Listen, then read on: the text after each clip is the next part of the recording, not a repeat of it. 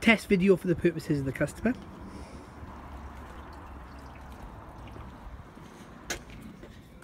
Parts of the mirror dismantled. Mirror in dismantled form. Problem with the car, when we operate the foley window switch, the foley window folds on the passenger side. And doesn't on the drivers. So we test for voltage supply.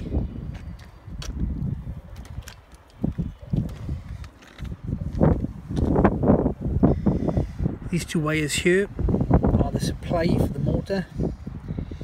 And if we operate the button now we can clearly see there's a supply voltage there for the motor. And if we return the motor press the button one more time to return we can clearly see there's a signal there for the motor